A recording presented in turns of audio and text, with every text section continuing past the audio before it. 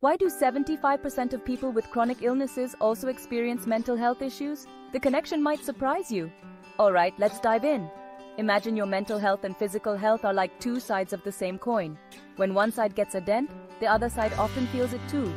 Stress and anxiety can lead to headaches, high blood pressure, and even weaken your immune system.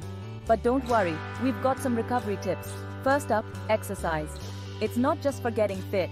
Exercise releases endorphins, your brain's feel-good chemicals. Next, let's talk sleep.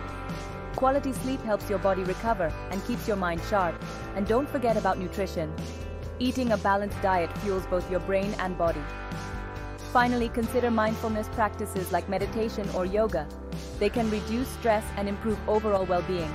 Remember, taking care of your mental health is just as important as physical health.